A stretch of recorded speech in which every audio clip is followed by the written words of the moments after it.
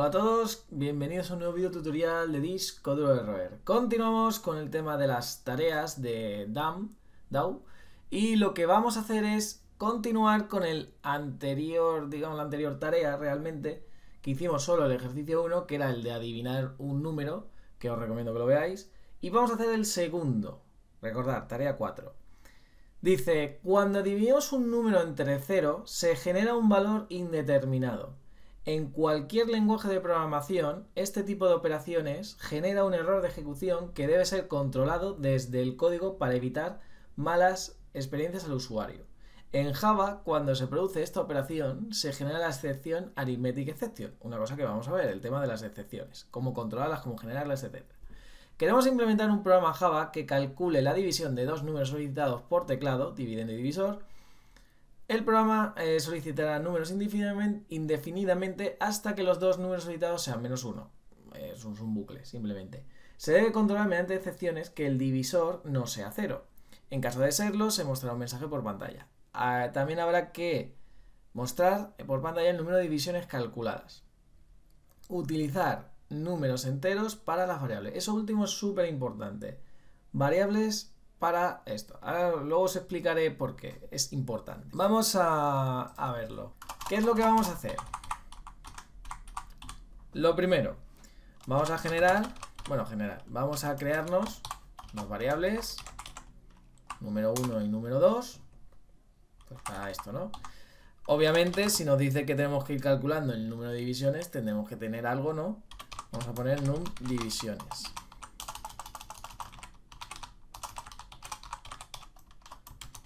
Es igual a 0. Tendremos que ir calculando. Bien, vamos a poner un while. Que aquí también se puede poner un do while, pero bueno, yo creo que con un while es suficiente.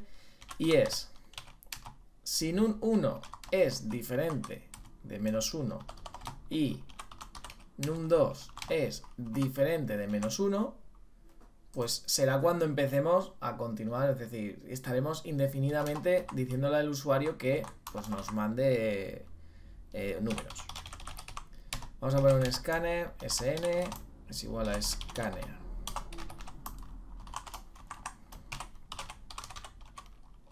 vamos a importarlo, perfecto. Y bueno, simplemente vamos a pedir los dos números, como siempre hacemos introduce el dividendo y el divisor. pues esto simplemente es num1 es igual a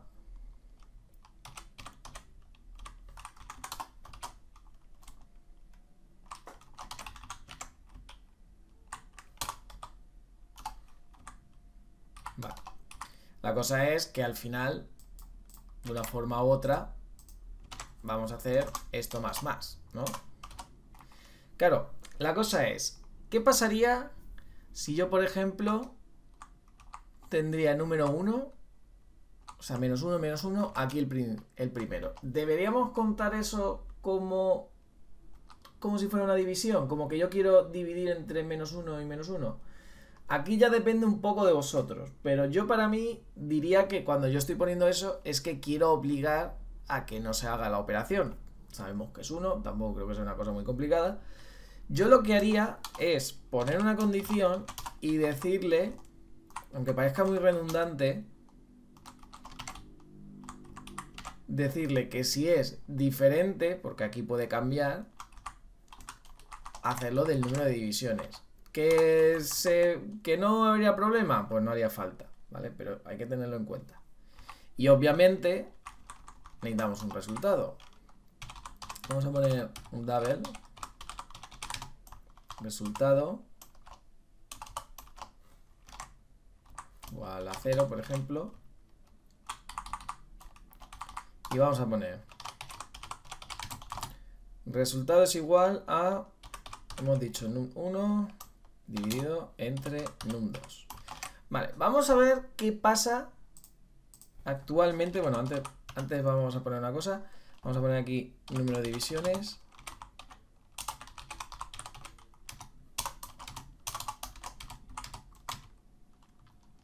Vamos a poner aquí num divisiones. Vale, Vamos a ver qué pasa si nosotros le ponemos ese 0. ¿Vale? Ahora mismo podemos poner 10, 2, ningún problema. Bueno, debería poner el resultado también. Pero, ¿qué pasa si pongo yo 10 y 0? Fijaos. Exception eh, tal dividido entre 0. Eso es lo que está diciendo. Esto es un error. Seguramente errores de estos habéis visto, vais a ver y no os preocupéis que ese es el pan de cada día de un programador. Esto es una excepción. Está diciendo, oye, ha pasado algo. Yo tengo que parar. Como no se ha controlado ese error, pues ha fallado. Seguramente el típico ejemplo, os voy a poner un ejemplo que seguro que lo vais a entender. Seguramente habéis visto algo eh, cuando se os ha cerrado un programa de golpe y se ha dicho cerrado inesperadamente. Eso suele ser porque hay a lo mejor un error no controlado. Aparte que puede ser muchas cosas, pero puede ser un error no controlado. Y se cierra el programa de golpe. Entonces, el programador debe controlar esas cosas para decir, vale, en caso de error quiero que hagas esto. Entonces, en nuestro caso, vamos a poner, si ponéis try catch junto y le dais a tabulador, os lo genera así.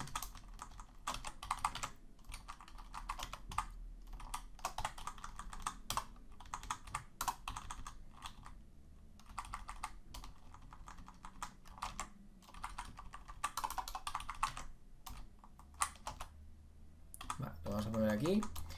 Y la cosa es, aquí vamos a poner lo de arithmetic exception. Eso de Javalan no hace falta, ¿vale? Esto no hace falta. Digamos que arithmetic exception es una excepción concreta.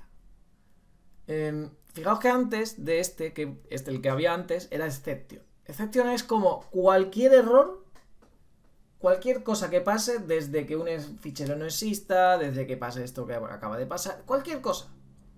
Claro, diréis, bueno, pues es lo mejor, ¿no? Eh, que coja todo y ya está, ya. El problema es que hay veces que necesitamos saber qué problema exactamente. En este caso, solo va a entrar cuando haya un error, pues por ejemplo en este caso, que se haya dividido entre cero.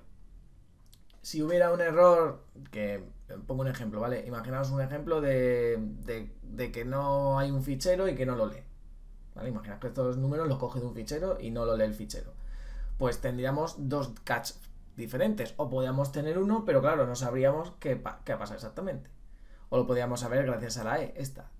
Que es básicamente donde contiene el error. Pero siempre es bueno diferenciar el tema de errores, porque a lo mejor cuando hay un error quieres hacer una cosa, cuando hay otro error quieres hacer otra. Siempre es bueno separar. ¿Vale?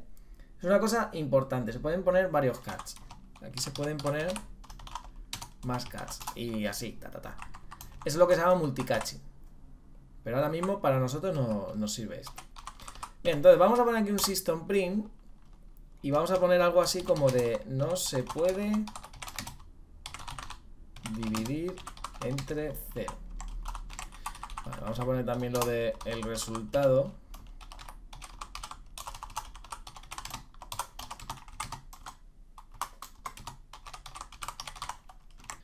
vamos a volver a ejecutar. Vamos a probarlo otra vez, a ver qué pasa.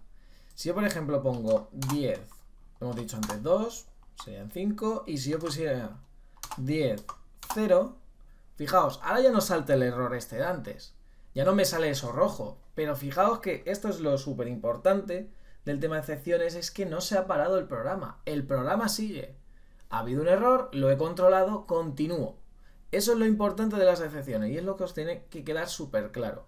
Y por supuesto, cuando hay un error, que es en este caso, fijaos que nos ha mostrado este mensaje.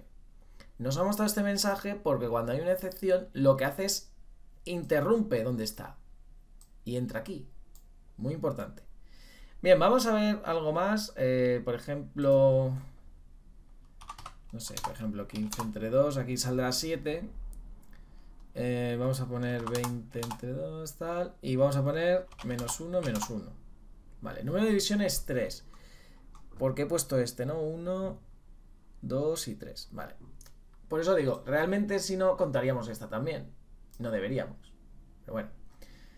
La cosa está. Eh, con esto estaría, pero vamos a añadir una cosa más. Que es lo que quería también decir. ¿Qué pasaría si estos fueran doubles? Pues lo habéis pensado, decir, bueno, pues es un double, también va a mostrar 7,5. Vamos a ver qué pasa. Es una cosa curiosa. Si yo pongo 10 entre 0, fijaos, no me está dando error. No está saltando el error. Me está saltando infinity. Entonces, a ver, realmente por eso está diciendo que las variables deben ser numéricas. Por eso lo dice. Entonces, bueno, se puede hacer un caste. Es que el problema, aquí en este problema, no se podría hacer. A ver, ¿se podría hacer de alguna manera? Sí, se podría hacer. Esto tienen que ser numéricos. Si hacemos aquí un casting, el problema creo que sigue igual. Es decir, vamos a hacerlo aquí. 10, 0, sigue igual. Entonces, la única forma, digamos, que se me ocurre, por así decirlo, es que estos, estos, eh, bueno, estos no pueden ser doubles. O bueno, forzar que sean doubles, digamos, y simplemente em, poner en la condición de que si, si este es cero, lanza la excepción propiamente, que eso se puede hacer se puede hacer algo así como sin un 2 igual a 0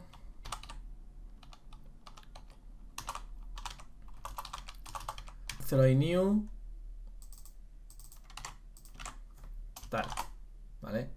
esa es la idea pero en este caso ya digo si lo han puesto así seguramente es porque yo creo que les da igual que ponga 7,5 que 7 ¿vale? O sea, creo que, va, creo que la idea es que controlemos esto de las excepciones, que es la idea. Así que bueno, yo por mí lo voy a dejar así, tampoco creo que es necesario complicarlo. Si alguien quiere, mm, quiere verlo, pues eh, lo podemos comentar, pero yo creo que no es necesario en este caso, o puede comentarlo en los comentarios. Y lo vemos. Así que bueno, lo voy a dejar aquí y continuamos en el siguiente vídeo. Adiós.